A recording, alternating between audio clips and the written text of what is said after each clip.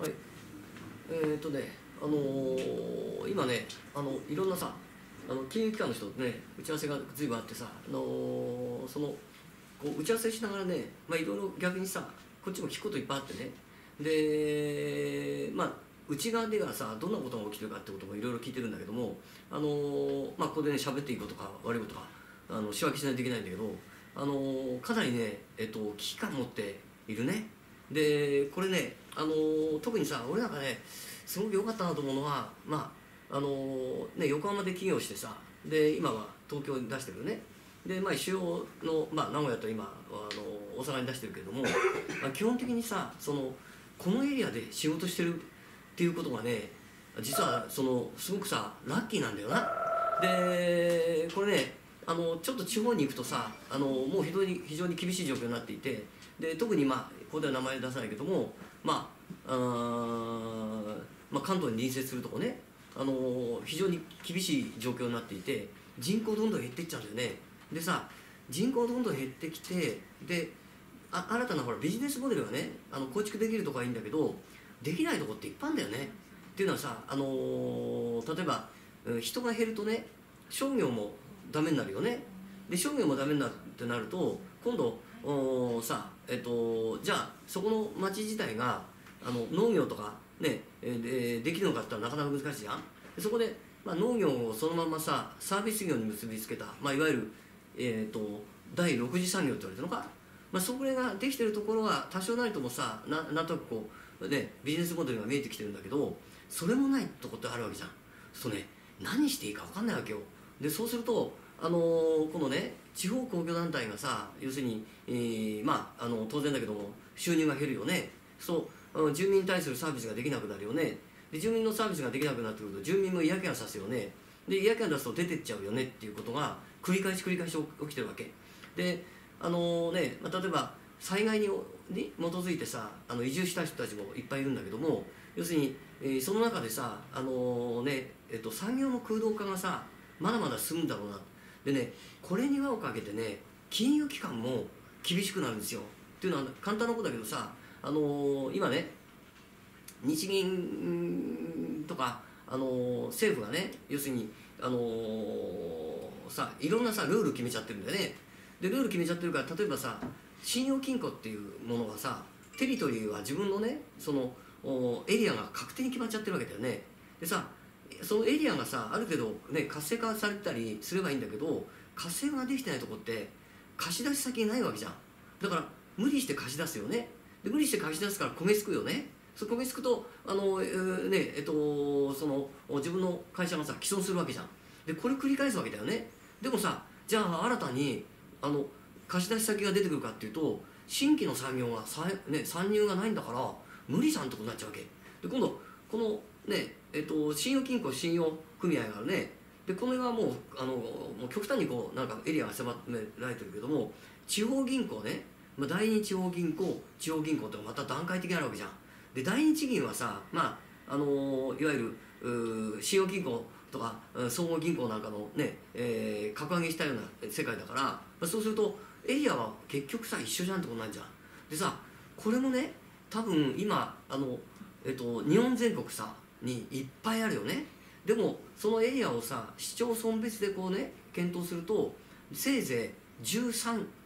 くらいしかないらしいですよ。でその13に絞られた時にその中の一番優位なところが1個しか残らないわけじゃん。そしたらこれ大変な数ですよ。あダメになっちゃうのがね。で今度地方銀行もやっぱりさあの例えば駿河銀行ねあの最近いろいろ話題になるけども駿河銀行ってさあの要するにえー、静岡の地方銀行だよね。でもさ静岡の地方銀行になったんだけどやっぱり静岡じゃなかなか商売難しいよねってなっちゃったから要するに東京とかさ、ね、神奈川とかにどんどん進出してきたきたわけだよね。でさらには今度はあの、ね、例のかぼちゃの場所みたいなところにどんどん融資しちゃったよねってこと。でそれはさあのー、ね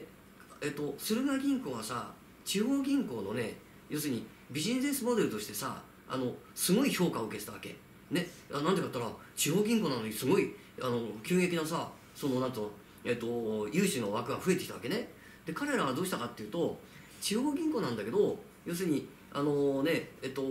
ちょっと銀行のね全体のさルールに逆らってね要するに、えーリスクの高いところは高い金利で貸すっていうことでやったから伸びたわけじゃん。ところがそのリスクの高いところに貸したところが焦げついちゃったから大変なことになってるよね。でここでねあの多分駿河銀行たたきがバーッ始まったわけだよね。でそうすると今度地方銀行はいやこいつね今まではさねその素晴らしいビジネスモデルって言われてたのが急に悪人になっちゃったわけじゃん。だから自分たちも悪人にならないように頑張ろうぜになっちゃったから今融資がかなり絞られちゃったってこと。でまたあのねえっとじゃあ都市,、ね、都市銀行って言われてた今までのねメガバンクあるじゃん。でこれはねあのもう日本では稼げないわけ。で今度何するかっていうとねあれなんですよ。えっと、うん電子マネーね。いわゆる今さあの 我々ってカード決済やってるじゃん。でカード決済やるとさカード会社にねピアノされるよね。だからあの商売やる人たちからしてみればカード決済嫌がるわけじゃん。で今度は電子マネーになってくると今度はさあの、えっと、手数料もすごく安くて、えーできるようになるから電子マネーにするよね。で今度あの現金管理っていうことに対してコストを今検討していて例えばあのねえっ、と今そこらのさあのなんだえっ、とえっーえっと ATM なんでしょ？あれ1台につきね23万くらいお金入ってるらしいですよ。診察でね。そうそれをさあの常に用意しなきゃいけないでしょ？で例えば日本もそうなんだけど例えばさ、えー ATM でお金下ろすでしょ？そうさ結構綺麗なお金出てくるよね。でそれはあの当たり前だけども要するに古いお金を回収して日銀がに持ち込んで新しいお金と交換してるわけ。それをずっとやってるんだよ日本は、ね、だからあのそのコストってすごいコストなわけ。ででもさ今中国なんかはね見ると分かるけどもうあのねお釣りもらうと触りたくないようなさお金だよな帰ってくるの。ほとんど入れ替えしないじゃん。で汚いお金をずっと出歩いてる。だから金持ってる人はお金触りたくないわけ。だから電子マネーの方にどんどんできちゃったから今電子マネーがどんどん進出してるよね。もう多分世界中で一番あれじゃないの？電子マネーが普及してるのは中国だと思うよ。でそれで今度はねアメリカもだんだん追従してきた日本もどんどん追従してくる。すると日本もそれに追従追従した方が得だよねってなっちゃったわけ。だから今はねあの銀行が要するに電子マネー化にどんどん取り組んじゃったわけ。とどうなんの？ね当たり前だけども、ね、あの資本力のある都市銀行ね、えーまあ、メガバンクはどんどん進化する。だけど、ね、それに追いつかない地方銀行はどんどん切り捨てられる。話になるよね。でまた横浜銀行あたりだと、ね、あのかなり首都圏に近いからあのそんなにでもないけどもそれがだよ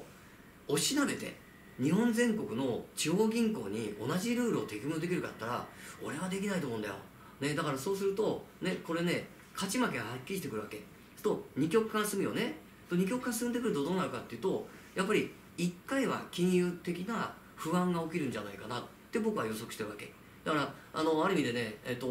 今年の3月以降ね決算見るよね。今まではさなんかね人の会社の決算見てさ、ね、要するにあのいやこれじゃ融資できませんよなんてことを言ってきたくせに自分たちがね既存しちゃうわけだからそう融資もっと厳しくなるよねってことじゃん。そうあのね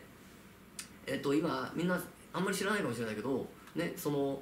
えっとアメリカのさ金融機関とかねあと商業銀行ねでもういつもいつも結構潰れてるんだよな。でそれはさ日本で報道されないじゃん。だからあのね意外に、えっと、知られてないけども要するに金融の不安っていうのがもう世界中なんだよ。で日本はねあのねえーまあある特定のさ要するに、えーいわゆるその